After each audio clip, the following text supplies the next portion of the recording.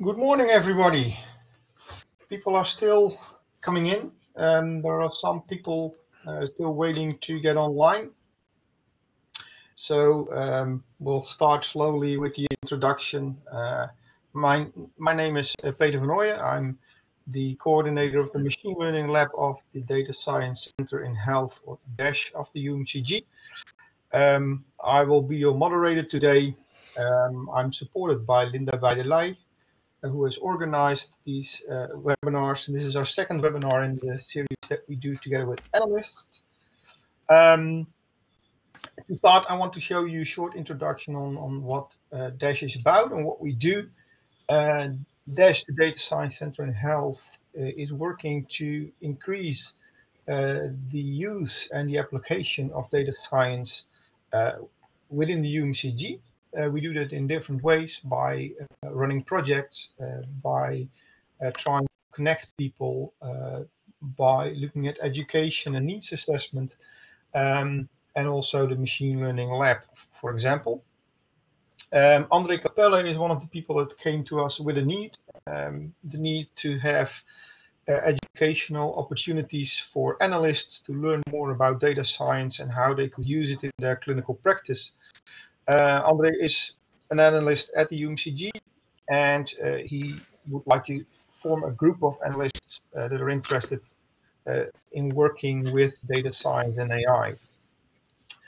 Um, during this um, webinar, you can ask questions if you want. Um, we'll keep the questions, we'll save them up until the end of uh, each presentation. So if there, are, if there are questions in between, uh, either raise your hand, you can do that by the little button in the bottom of your screen, where you see that little uh, doll with the hand raised. If you click that, we see that you raised your hands and we'll give you the microphone to ask your question. Uh, if you do not want to use the microphone, you can also type it in the chat box. You can open the chat box on the right side of your screen with the purple uh, button. Uh, there you have a general chat and everybody can read your question and will uh, I will uh, pick up those questions and ask them to the uh, to the presenters. Um, Today we have three uh, presentations. Uh, the first one is uh, on examples of data science in practice and tips to get started by Dimitrios Soudis. Uh, then we will have a general introduction to digital pathology by Bert van der Vegt. And then uh, the digital pathology, pathology in practice by Henk Buikema. Um, so we'll start with uh, the first presenter, uh, Dimitrios. Hi. And I would like to give him uh, the floor and the opportunity to share his screen. So Dimitrios, go ahead. Hi, good morning, and thank you for having me here. So let me first reshare my screen and hopefully do that successfully. Uh, yes, so I will be presenting today. Uh, so I will talk about data science in practice, and uh, my name is uh, Dimitrios Soudis. Uh, I work for the data science at the team at the CIT here in RUG. And so I will start with a brief introduction who I am and who my team is, very brief. And then I will give you two motivating uh, cases that are ongoing with the UMCG and my team. I, I, work on both of these cases. The one is about DNA mutations uh, and, and sort of uh, creating a, a model that predicts if these mutations will be pathogenic, if the patient will get sick. And the other uh, model I'm working on now is about predictions uh, of antimicrobial consultations in the intensive care unit. Um, so after these sort of uh, examples, I will use them as motivation. So, so why it's nice to know uh, about data science and all these nice techniques. I will talk about how to get going with data science. So I will talk about software, hardware, and resources where you can sort of educate yourself. Uh, and then just to start who I am and, and why are you listening to me. So I came in Groningen in 2010 to do my PhD in economics. Uh, so uh, some people think that you know data scientists only come from computer science or something like that It doesn't really matter if you if you have a, a, nice understanding of numbers you you can do it so it's no no problem So I did my PhD in economics. I worked as, as an assistant professor in economics in FEB, the Faculty of Economics and Business, up until 2018. And uh, after that, I moved to the data science team where I am today.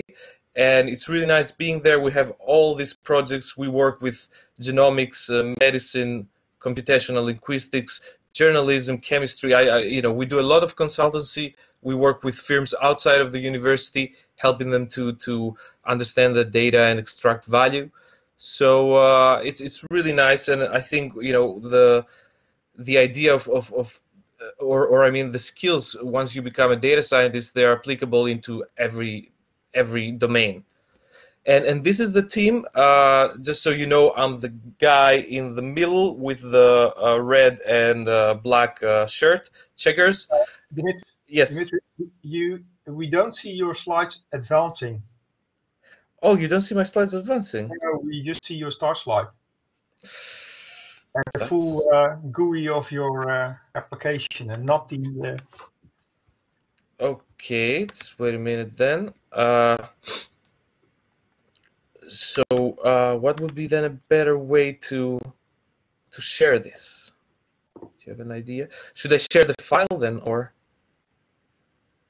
um, oh, when you did earlier in the test, it did work. So I'm doing the same thing. Let me let me re re uh uh so uh Lustrum uh let me go for entire screen then to do it a bit differently and then maybe so mm, maybe this works yes, this works. Okay, perfect. great. So, okay, so this is just the introduction, motivation of two examples, and then talk a little bit about resources, software, hardware. Uh, this is what I did, like I told you before here, and who I am, and, and what I've done in Groningen so far. So, started from economics, uh, assistant professor, now I'm a data scientist. And this is the team. I'm uh, this guy in the middle. I was having a very bad hair day that day, so don't don't mind that. Uh, and this is the team. So we have backgrounds from uh, all around the university. From uh, so if I start from the right, this is Leslie. She came from mathematics. Christian from physics. Aria from computer science. Uh, Andre from physics, and all the way to statistics and, and lots of backgrounds. I have uh, here our our uh, website link, and uh, I will share this document later on. If you want to explore more, you can just Google data science at RUG CIT, and it will come up. So every year we have a competition. If you need help with uh, a project, the next competition will start in uh, September. You can just uh, go online, see the instructions, and apply. And you might get the help of a data scientist with your projects. So uh, for today, uh, I will start with the first uh, case study. So we, we were called from the genomics department, and we were told that they work on let's say genetic mutations. So you know you've seen these pictures probably. So this is sort of the uh, dna and these are the bases the c g t a. And then you know you you might see in the general population that at a certain point there is a c and a g bases but then some people have a mutation. Instead of that they have a t and an a right? And so so these people were, were trying to find out uh, will this be harmful for the patient or not uh, and then uh, you should know that we uh, don't have anyone from genomics or, or uh, we don't have the background for that, which is another cool thing with data science. You uh, there was this really famous statistician, Tukey, and he said that uh, if you're a statistician, you can play in everyone's backyard. It's the same about data scientists. so we looked around and we found several existing tools, and they all had great limitations. So some of them only covered part of possible mutations. Uh, the others were not suitable for rare mutations, and the clinicians they they saw for uh, for some reason some very weird rare mutations that that existing models wouldn't cover. And the existing models, also existing tools, they had very high false positive rates, right? So if if 80% of the people who walk through the door are predicted as uh, having a pathogenic mutation, the doctors will always be busy. Uh, so the research aim was, uh, can we produce a tool that will classify people into two uh, cases. So the ones that are uh, indeed pathogenic and the ones that are not. And we wanted to cover as much of the genome, the human genome, as possible. In fact, in the end of this project, the people used the model and they scored, I think, the, the, the whole thing. So it's available online. Uh, we wanted to be as accurate as possible and and the third thing uh, we wanted to do is, is based on widely uh, available lab measures, right? So we wanted what we do to be usable. So so so the idea, like uh, I say below in the methodology, is was was not really to to create a new, let's say, machine that tests stuff or or sort of do uh, primary basic uh, science. The idea was to to combine high quality data sets and use routinely computed measures from blood samples and just think of a, of a different and more, let's say, creative way of combining them. And, and that way would be, in our case, machine learning. So we use the state-of-the-art machine learning algorithms like XGBoost, uh, which is uh, currently, you know, probably the best thing that happened uh, in, in, in machine learning, uh, at least when you're working with, with tabular data, data that fits within a, a spreadsheet, an Excel. And so, so the idea here was that you have all these machines creating numbers every day, uh, that's great. Can we combine them in a different way? Can we extract some value that hasn't been already uh, extracted? And the results from this, uh, as I show you here, so this is sort of the results uh, that we had. So uh, these are different models. Uh, the first one is the one we created. The other ones are models that exist out there in the wild. this y-axis, it measures the AUC score, and some of you might, might be familiar. what this measure does is basically it tells you the ability of, of your model to separate between, let's say, pathogenic and non-pathogenic. And, and the ability goes up to one, meaning 100%. You're, you're, you're, you're able to separate those two at 100% of the cases. And these different dots are basically different types of mutations. So if you look at our model, is very, very, very good. It's, it's, it's close to, to being perfect for most mutations and, and really good in some others. And if you look at the existing models, they're they're nowhere near, right? So so the second most uh, valuable tool, CADD, it goes up to 0.8. So we're doing much better than them. This other tool, Revel, that would look to be really nice as well. It is really nice, but from what we hear, heard is that it's missing about 75% of mutations that people see in clinical practice. So while it's good, it has a very limited uh, use case. So so the what I'm trying to say is that the reason why we did really well was not so much that we created something unprecedented. It's just we thought a little bit more creatively. We said you have all this available information. Can we use it uh, in a different way? And you know the answer was in this case machine learning. And and the cool thing about this is that now there is a free tool let me see. This will probably work. Yes. So you see it's online. You can choose a file, upload it uh, with your own sort of uh, blood exams uh, results coming out. The model is actually CAPICE is short for consequence agnostic pathogenicity interpretation of clinical exome variations. I don't I can't say that really. So and I don't even know what half of these things mean which is another cool thing. Uh, so you just need to understand the data, not so much. You know that's why it's really nice to to have cooperations between experts in that field and the data scientist because you understand different parts of the problem. So let me go back into the uh, presentation now. Uh, the, yes. Why is this not happening? Oh, that's bad.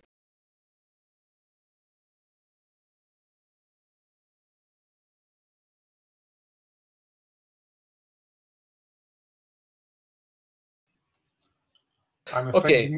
yes. somehow, yeah. Somehow I was kicked out. Hi. Somehow I was kicked out. okay. I'm oh, back, back, now. Yes. Okay. So let me share the whole screen again. Uh, sorry for that. Uh, then let's go back. So somehow it just it just uh, it's not allowing me. Okay, it's back here. Oh, don't do that again. Uh, share screen. I'm not sure what's happening. Hmm. let me stop sharing the screen and then reshare it. I think this will fix it. Uh, screen allow, and this I think will fix it. Slideshow. It's not allowing me to go further. I'm not sure why this is happening. Uh, any ideas? No, I don't want to raise my hand. Uh, this is really strange. Close the browser, then I will have to. That's a good suggestion, but uh, okay, let me go in and out again a little bit fast. Uh, let me. Okay, you gonna log out completely? Yes, uh, cancel. So where, where's the login out part now? Uh, da, da, da, how do I leave this from here? Probably right. On the top left, you have that session menu. Yeah. He's out. Okay, well, I hope he will be back soon so he can continue on his presentation.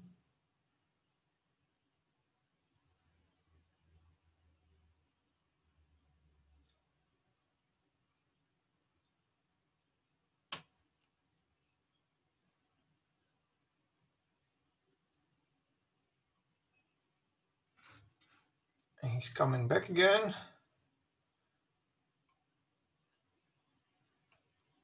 And he is moderator again, so he should be available again. Dimitrios, are you there already? but this thing is, is persisting. Uh, this problem is persisting. Uh, let me try to. Why did this happen? Uh, share screen. Are you sharing this? Okay. Sharing the screen. Yeah. Yes. Uh, let me then just share not the screen but only the slides. Do you see it now? Yes. Great. And is it moving? Yes. Great. Okay. So so second case case study.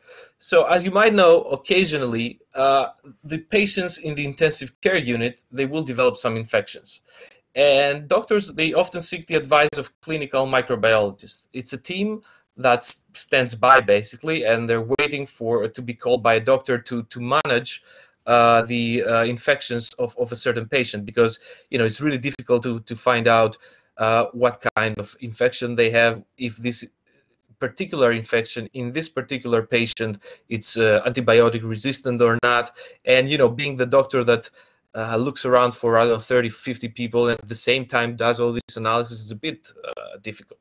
So so these people help doctors uh, manage the infections, and then uh, they, they came to us with a question: Can we predict when the call will take place? When will a doctor uh, be putting a call on us for a certain patient?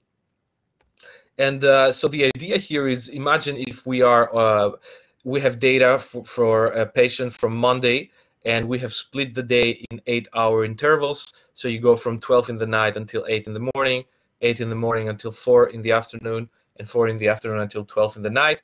Can we predict the next shift? Let's say Thursday at uh, 12 o'clock in the night. Will something happen then? Can we predict if, if so basically, you know, get get some data from the past and predict one shift in advance if this team will get a call from the doctors. Uh, and and you know so so this is a picture from a patient in in the ICU. It's not from Groningen. Uh, it's just a random uh, picture. It's in fact it's not even a patient. It's a dummy uh, on the bed. But what I wanted to show you with this picture is that is that uh, where where other people you know see only a patient in in a bed, uh, these people saw data. And if you look at the red circles, these patients are are they're they're wired let's say uh, and they have you know they their their heart rate is monitored their breathing uh, rate is monitored uh, blood pressure um, they also have ivs right? So they have catheters they have so many stuff on them and all of this is data. So the idea is and this data they're they're routinely uh, collected. Every let's say a uh, few minutes there's another data point for every patient so, so the question was, can we use this data as they come in uh, real time and then make a prediction? Like you know patient number 13 uh, in eight hours from now you will probably get a, a, call about this patient. So of course we're not yet at the real time phase. We're, we're just building the, the prototype. And and so we we use this data. It's still ongoing uh, so i don't want to say too much about it but we are currently reaching an, an auc of 0.93 uh, and auc i told you before it goes up to one so we're doing very well uh, we're doing well because we're using sort of a, another state-of-the-art model there. It's it's a deep learning model called LM, a long short-term memory uh, neural network. It's very nice when you have sequence data, so when you have time series, for example, like the ones we have for these patients. And and the long-run aims of this project is to prioritize patients in a way that you know limited resources are efficiently used right? So in an ideal world uh, we would all have our personal doctor and our personal uh, clinical microbiologist just standing next to us. This is impossible. So so what we hope to do with this model is rank patients according to the needs for consultation. And then when you know i have only for example let's say three doctors i'm going to send them to the three more likely patients. So ideally uh, we can help the doctors uh, use resources more efficiently uh, and now i'm sort of done with with the uh, case studies and uh, oh, by the way, yes, uh, I'm done with the case studies, and I want to talk to you about. So, okay, how do I make a transition into data science? And it's certainly something you can you can easily do because I'm talking to analysts right now, right? I'm not talking to, you know, let's say, well, I know historians that do data science, but uh, it took uh, more effort for a historian to become a data scientist than it will take for you. So, so let's start with hardware. My my uh, advice would be just to be pragmatic you know and and and uh, so my laptop the one i'm using for for all these project uh, projects has 16 gigabytes of ram. It has four cores and it has an, an nvidia graphics card. So it's it's nothing fancy. I think i bought it for 1200 or 1400 euros so and this already can handle hundreds of thousands of rows with hundreds of columns so uh, you don't need to go overboard and, and buy yourself a small server. Uh, a nice laptop, let's say with 1500 euros, it's going to do great stuff. And at the end of the day, if you need more, uh, the right way to go would not be to buy a bigger laptop, it would be to use Peregrine. Or, or, or you know if you're part of a team and you see that you guys are doing a lot of data science you can come together as a team a team and buy a, a small server for you. So we bought one as a data science team with about seven or eight thousand euros. And it is amazing. It has 40 cores. It has two graphic cards. We are having fun with that. So for you as a person though i want to get started. I think your laptop already if it has 16 gigabytes of ram um, it's already i think the best uh, the the minimum i would say you you can do a lot with just that laptop uh, so so don't care too much about hardware uh, about software you know we use uh, either python or r some people use MATLAB, uh, that's fine. Uh, some people, there's a new language coming up. It's called Julia. It's not yet so widespread, but but so so I would say about 90 something percent of the cases, it's about choosing between R and Python. And I think this is like always the if if you look in the internet, there's the war between Python and R. Which one should I start with? Which one should I learn? I would like to say that in the end, it's nice if you know both of them but if you have to pick just one to get started, which one? So I will try to to to tell you, you know, how I would choose if I was starting from the beginning again. So if you look just out there, uh, you look at popularity. So if you look at Google Trends, R versus Python for data science, you will see that Python after 2016 has taken over, and R is is kind of stable, right? This doesn't mean necessarily that Python is is is, is fantastic and R is not. Uh, what it really means is that uh, people from computer science and engineering moved into data science and they already knew Python. So it looks like Python is taking over, but uh, it's it's it's really a shift in in who is doing that work. So back in the days, that work was done by statisticians mostly. But now that computer scientists and, and engineers are coming in, they're also bringing Python with them. Uh, also the same if you look for R versus Python for machine learning, you will see that, that Python has, has skyrocketed. And it's true that uh, machine learning is a bit uh, more seamless in, in, in Python than it is in R. Uh, so Uh, these are just in terms of, of trends. Python seems to be the the best option. Uh, but uh, let's let's talk a little bit about the two languages. So so if you look at Python, what's what's best about Python is that it is a general programming language. So you don't only use it to to do data science. You can use it to create a website or or some other application that it will be running somewhere. It's it's much much easier general programming in Python than it is in R. Another pro is that it's it's awesome for machine learning and deep learning, computer vision. It's just really, really uh, developed the ecosystem. And that's because Python was already there. And there, like I said, computer scientists and, and, and engineers started working a lot with data. So they had a great uh, programming language and they used it in a very efficient way to create really good code to do that.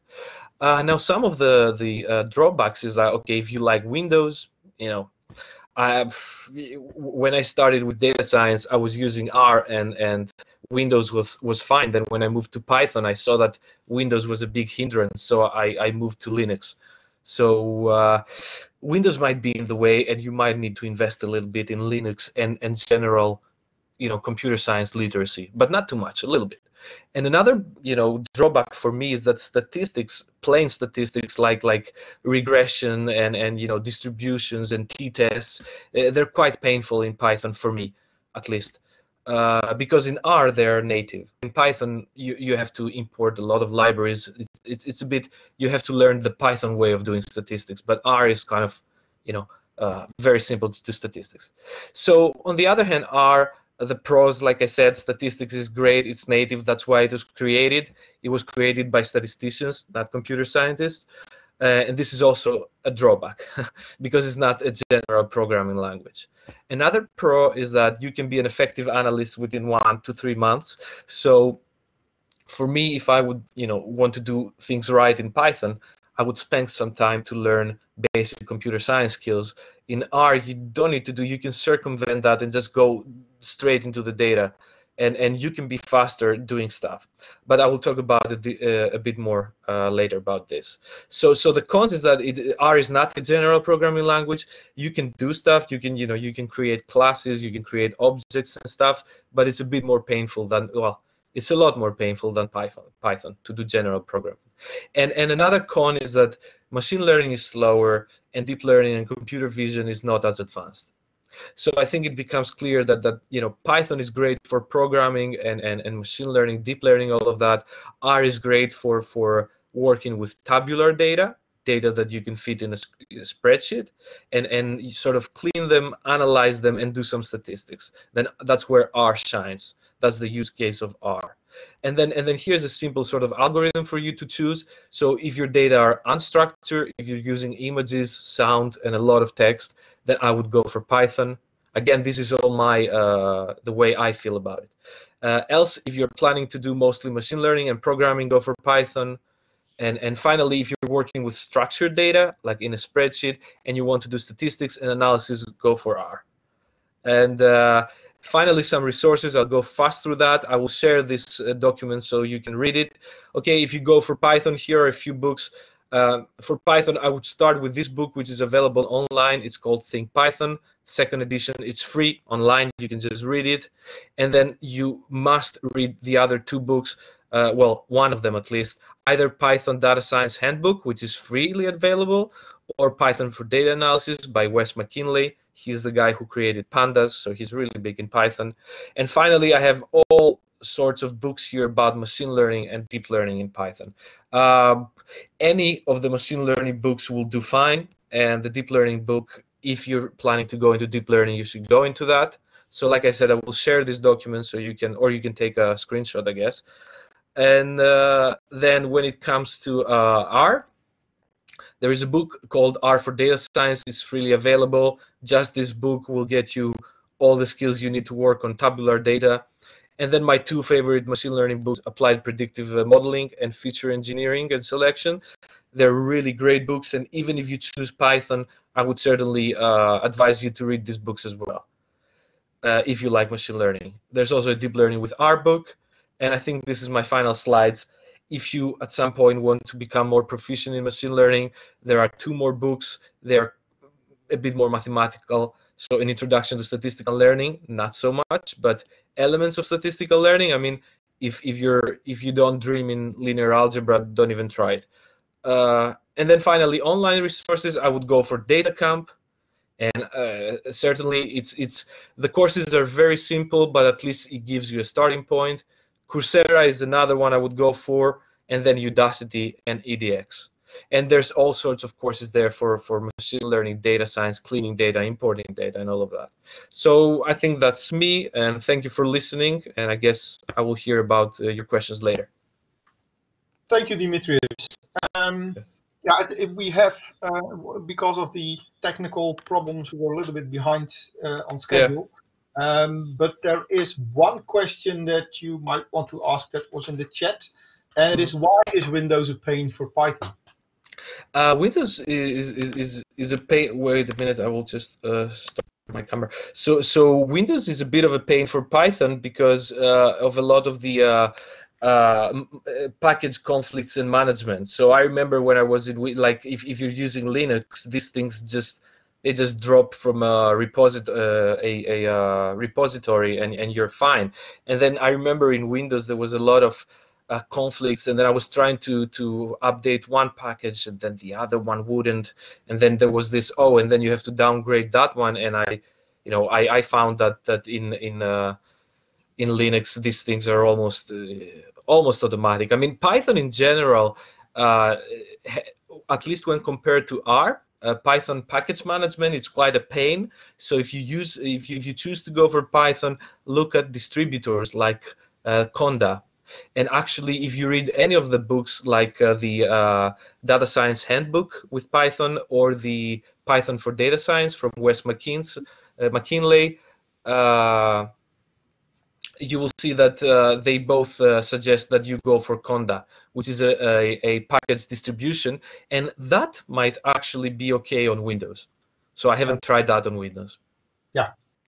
Um, there are two remarks um, uh, one is from uh, from Fons who says if you want to learn Python, he also has a good suggestion, uh, py4.com uh, as a website to start with. Uh, yeah. Manfred mentions that he missed a uh, the importance of a good database management system? oh, that's that's yeah. I would say Manfred is, is correct here. Is just that at least in, in our practice, I mean, he, he's totally correct because if you need data, you need to have a, a system there collecting, managing, and, and making sure the integrity of the data is is, is good. But for yeah. us, eh, where we work right now, people just dump their data on us. So this is kind of like their problem where we work. Yeah, you make yeah. your own. And, about the virtual environment for Python, yeah, you're correct. I see Rene. Uh, you can run a virtual environment for Python, but it's like, I think Linux, like in general, if you want to be in data science, switching to Linux is highly recommended, super highly recommended. Because yeah, you do yeah. the VM with Linux and then. Yeah. So sure, sure, certainly, yeah. So there are different possibilities to solve that. I think we should move on to the yeah. next because Bert van der Vegt and Henk Buikema also want to share their um, their knowledge about uh, pathology. Uh, Bert van der Vegt, the pathologist, and Henk Buikema, a digital technician, and they both will uh, give a presentation uh, with respect to pathology. So we're looking at imaging then. So we start with Bert. Bert, floor is yours. Yeah, good morning, uh, everyone. Uh, thanks for the introduction, Peter. Thank you to Andre for inviting us to uh, talk to you this morning about data science in pathology. Uh, I will start off with giving a brief introduction on the on the subject, and from there on, uh, Henk will take over from me uh, for a more practical uh, insight in in how are we doing things. And the first question you might ask yourself is why would pathologists need data science? Because ever since the dark ages of pathology, uh, this is what we've been doing. So we've been looking through microscopes and giving names to things and, and diseases. And uh, so what we mostly do in, in daily practice is, is deciding if something is cancer or not and looking at, at, at types of cancer. And we've always been doing that in a, in a very descriptive way. Uh, but things have changed. So we've gained over the years more knowledge on on on cancer and also on other diseases, and we uh, have gotten more possibilities to treat patients. So uh, we're looking at patient-tailored treatments these days, and and surgeons try to spare organs as much as possible. Radiotherapists uh, uh, try to give as small radiotherapy fields as possible. Uh, there are many different types of chemotherapy that, that are an option for uh, a cancer patient. We're looking at targeted treatments and there's immunotherapy and there's a lot of things coming in the next few years. And that has also had impact on, on pathology because uh, many of the decisions that uh, are made on which treatment a patient uh, uh will get uh, are based on data from pathology reports.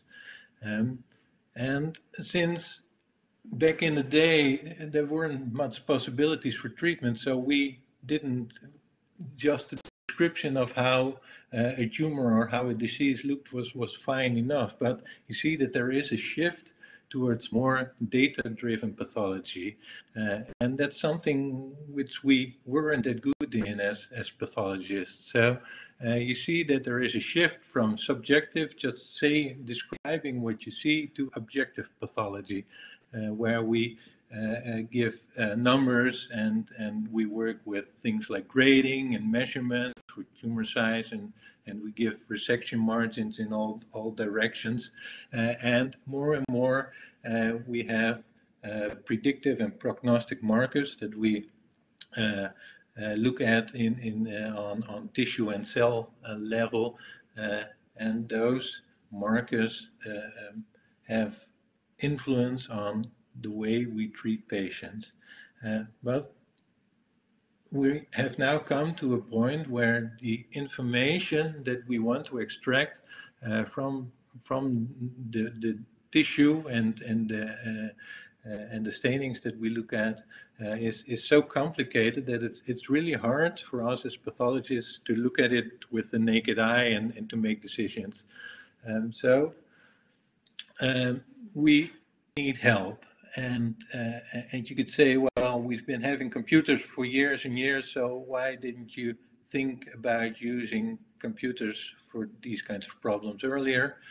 Uh, well, what we needed is slide scanners, so we uh, have those these days, uh, and and we do need a lot of computing power. So uh, one digital slide, uh, so that's one glass slide that we look used to look at through through a microscope at uh, is one uh, is two and a half gigabytes.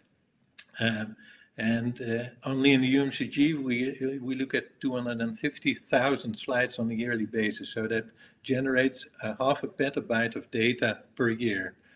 Uh, and, and we will see that uh, because these files are that big, if you want to develop an algorithm, you do need some uh, high GPU power to be able to develop such algorithms.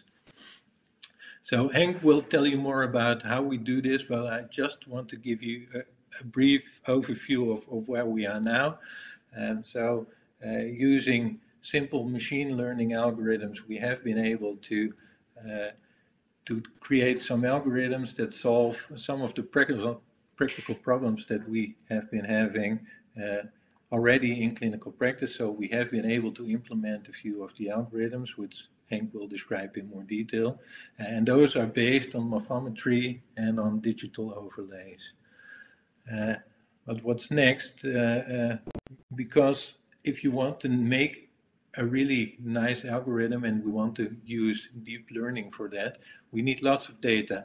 So we are currently setting up a regional image repository and cell and tissue-based image analysis facility where we use uh, where we hope to use data, so image data from all of the pathology uh, departments in uh, in the northern region, uh, and uh, we hope to use to combine that data, and using that we hope to create algorithms in future, which will then again serve pathology diagnostics for the whole northern region. Uh, for that, we have been selected as a, as a DASH frontrunner project because I'm a pathologist and Henk is used to be uh, a cytology technician, but these days is, is a, a, a digital technician. Uh, uh, uh, but we're not data science experts. So the, the talk we just heard, it's, it's, it's not something that I understand. So I needed help. Uh, we are trying to collaborate on, on this project with the machine learning lab. Uh, and, and together we hope to solve, uh, solve this problem in pathology.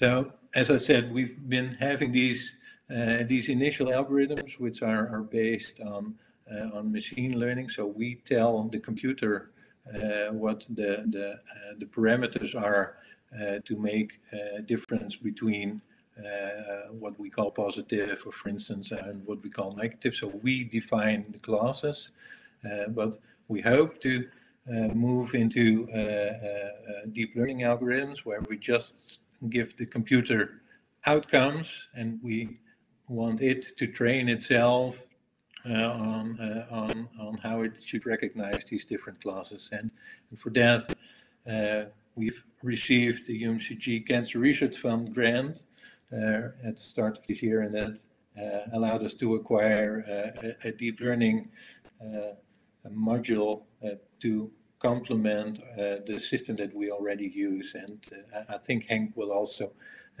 explain that in more detail. So what's next? Well, this also gives us opportunities because uh, this allows us to get extra information out of, of the, the uh, of the images that we have. So uh, computers are, are able to look into it in more detail and are also able to look at it uh, at, at a level uh, and at an extraction level that, that we just simply can't. So if you look at the, at the top right side of the uh, of the slide that I'm showing you, uh, is, is, that you see that uh, an algorithm is able to recognize inflammatory cells between um, tumor cells uh, and it's able to recognize certain patterns in these inflammatory cells. And that's something you just, as, as a human, we can't see that.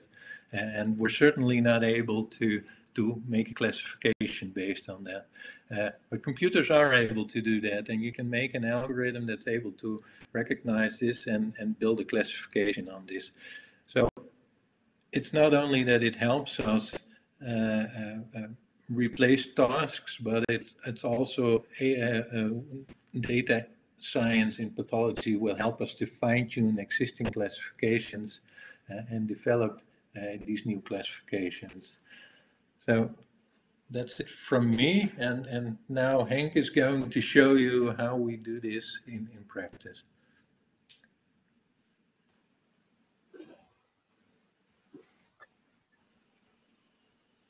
Yeah, so we switch to Henk Buikema. Okay, I think at first we must share the screen. Yeah, I bet you'd stop sharing first. And then yeah, I, I stopped.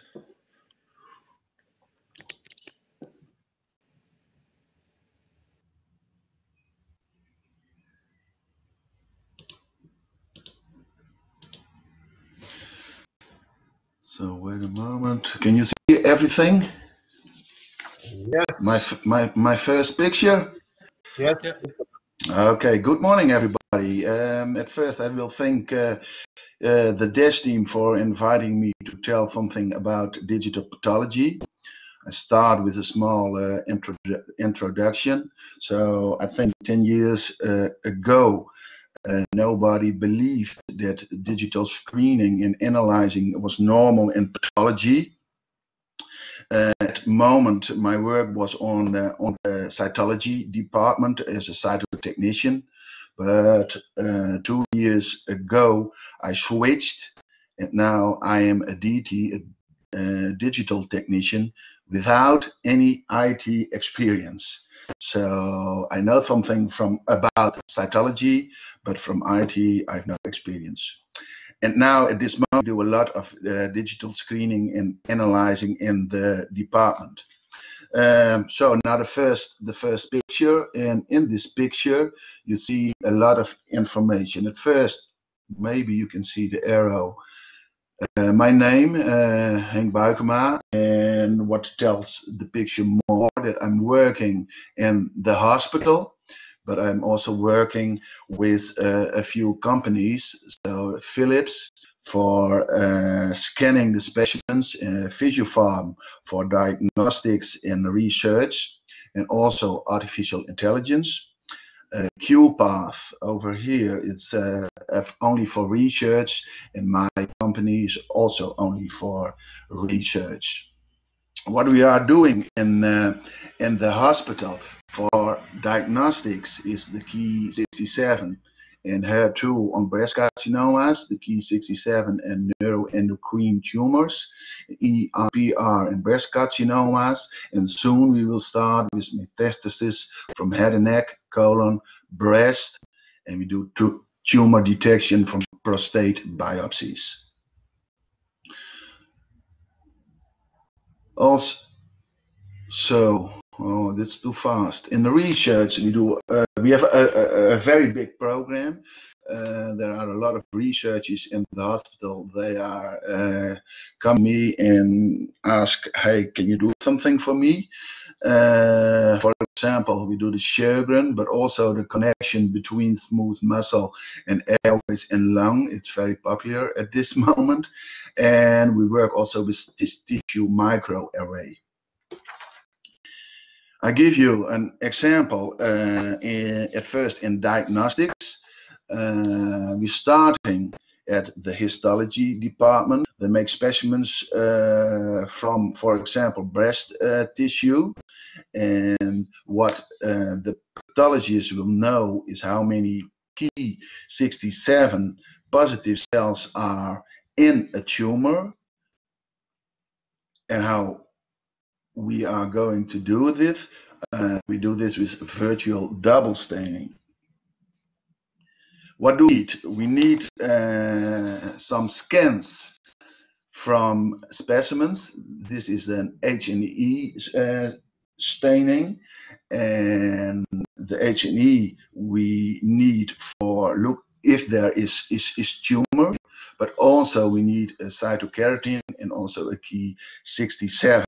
From these three specimens, we make scans. And these scans we are downloaded in a program, and the program uh, is from Visiopharm.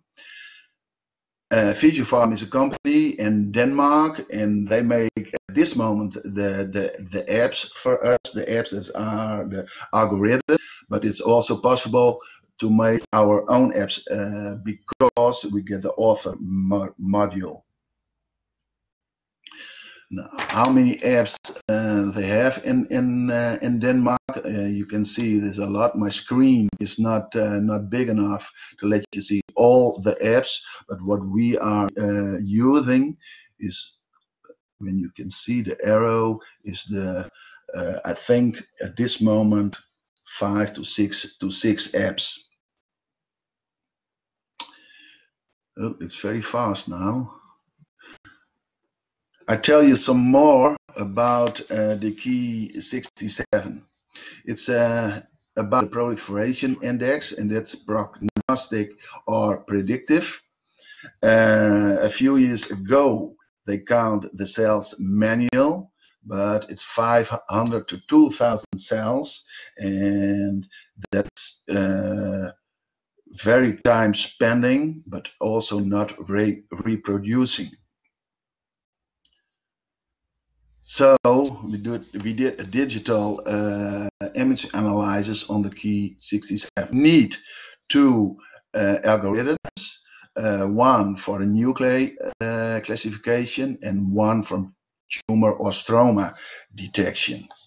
The tumor and stroma detection, we have three uh, op options to draw the tumor by hand or making a classifier. When you are making a classifier, you must uh, train the computer that they recognized the tumor cells, or we use uh, virtual double staining.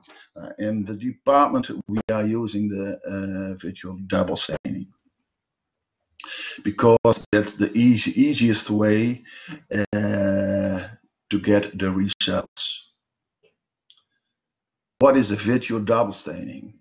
Uh, I let you see this in an animation. I hope it's working, but I tell you uh, what you see in this picture. You see over here the tumor cells. This is stroma, and these are the positive key 67 cells.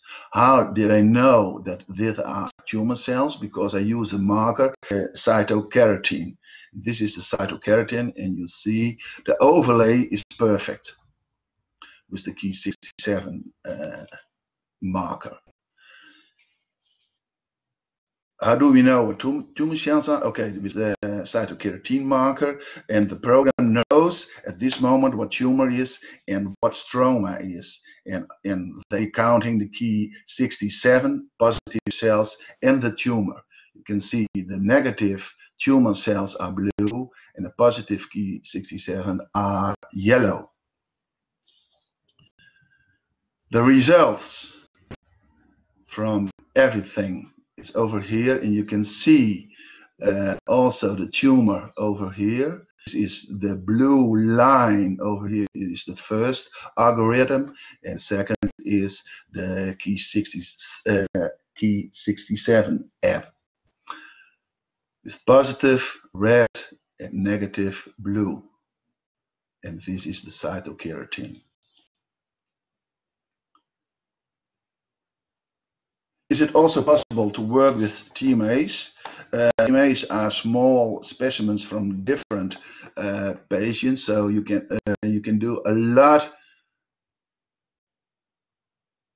uh, a lot of, of of tissue on on one slide, and then uh, then you can do the markers, and it it it is possible. I give you an example from one uh, one core from a TMA and it's from the HER2 HER2 app. HER2 app is a membrane staining because you can see the lines from the positive cells. Okay, I think these are the diagnostics. Now I do also some research work. Uh, there are a lot of researchers in uh, in our hospital, and they have also a lot of uh, of problems. Uh, for instance, instance, counting positive cells in a specimen or what is tumor, and so you can. Uh, there are a lot of things they don't they don't know. The question is always, can we do it digital because it's easy, and uh, when you are counting manual, it's uh, a lot of time spending. Um, that's possible. It's always possible, I think. But the problem is there's no no app or no algorithm, so you must make uh, something. Um, and I can do it in, in, in, with the programs of QuPath and also in in in Visiopharm. Uh, QuPath is an open source program so you can download the program from internet. Uh, with this program, you can make the algorithms and also the classifiers by yourself. Uh, is the same, but it's not an open source program, and that's also for my my company. I give you an uh, an example in uh, in QuPath and what you can do in QuPath um, when you are looking to the picture um, that there are a lot of tools. You can use a lot a lot of tools and also the annotations. You can stroma over here tumor over here and you can do it by by hand. Um, the tools are are here uh, also the TMA, uh, the measurements, you can the uh, you can automate uh, everything, but also analyzing. Then you must make a classifier. We are making a classifier. You can can open this this tool, and you can build and apply on your own app. Uh, what yeah important at this moment is is is yeah the intensity of the of the staining but also threshold uh, but you can can yeah use this button to go to the right etc etc etc to build a very a very nice a very nice app Okay, is that also possible with TMAs? Yeah, I told you that also possible in TMAs, but at first uh, you saw a Ki-67 uh, with Visio This is the Ki-67 in QuPath. This is not a double staining, so uh, I must uh, annotate all the cells, uh, but also the stroma, etc., etc. and there are the results. And I think I think this app is not bad because these are all tumor cells. This is stroma, and the red one that are all Ki-67 uh, positive positive cells. And it's also with TMAs, so you can do a lot on one slide. These are the results from the TMAs, so it's very very easy to do. Okay, do we also something with artificial uh, intelligence? Now, for me, is artificial intelligence intelligence learn the computer by input from a lot of different pictures uh, from the same object um, and practice. Uh, it's for instance for tumor detection you need only an H&E and you need a program with deep learning and the deep learning in Visiopharm is also with Python. Uh, it's only clicking clicking on deep learning and then training uh, the the program uh, at first in BERT. BERT is a very nice any, uh, animation, but I do everything by hand. So draw the tumor cells and draw stroma, do, do that again and again and again, train the, the computer and uh, at the end, uh, he recognized, the computer recognized every tumor cells. I know this is a very, uh, very simple explanation, but it's also very easy to work with it. And I think in the next two years, we do everything with artificial uh, intelligence. Uh, thank you for listening, and there is a time for some questions. Yeah, thank you. We've got a couple of minutes left until 11 o'clock for questions. Uh, I, have, I, I, know. I've got question in the chat already. Uh, can you run image stacks through these programs? It's text. Um, together. Sorry, sorry. An image yeah, stack. So, let, let, let me respond, Henk. Yeah, okay. you can run uh, stacks of images. So uh, if you if you make uh, so the, the first thing is that you need to develop an algorithm, and once you've you've got uh, a validated algorithm, then it's possible to uh, run this uh, on stacks. And there's another question. Uh, how long does it take for the program to be trained to recognize a tumor correctly?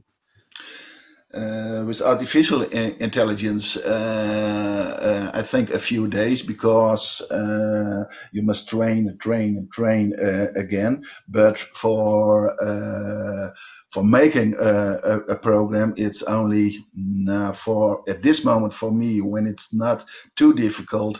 It's two hours. So the the main work is in the, the all the annotations that you have to do to yes. train.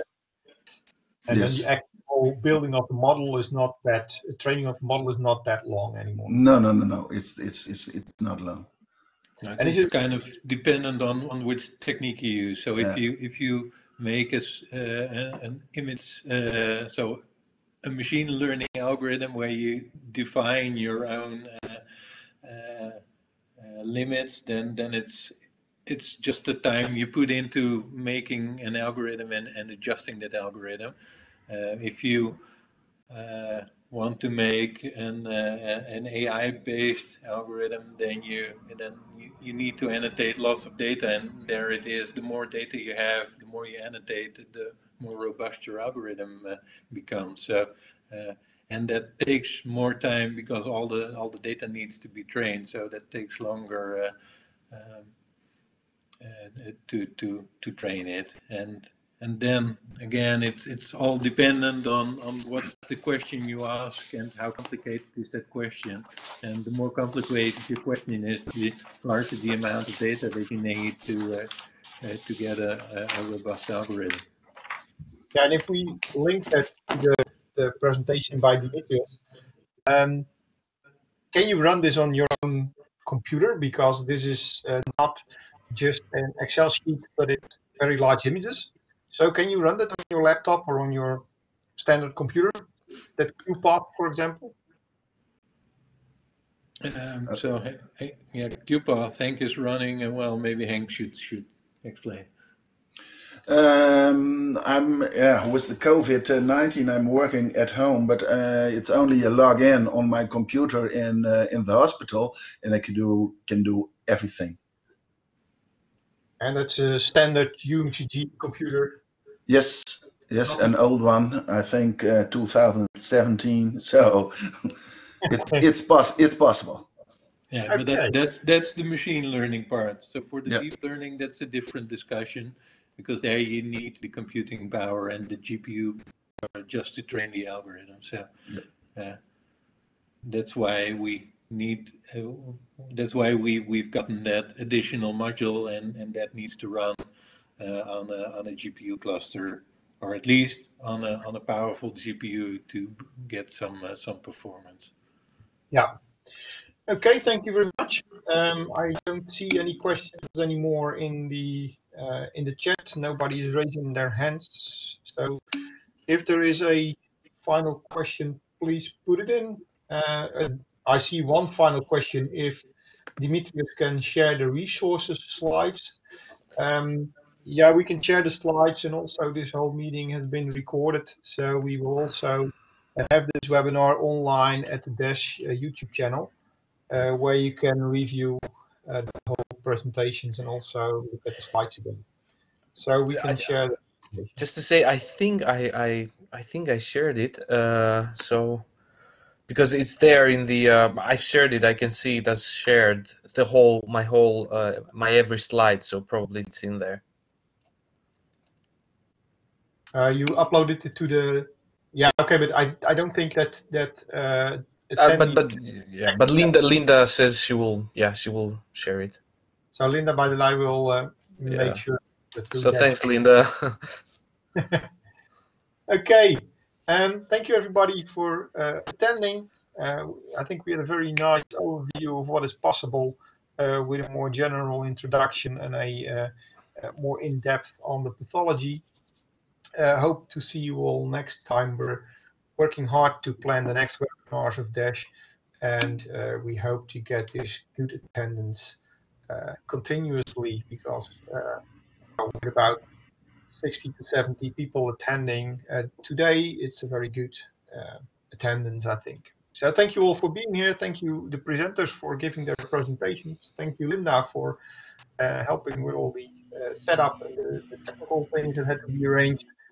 Um, if you want to, if you're an analyst and you want to stay uh, up to date on activities on AI, then you can send an email to this email address that's now on the screen, ai.analysten at lc.umcg.nl, and you will be added into the mailing list. So once again, thank you all and see you next time. Bye bye. Bye bye.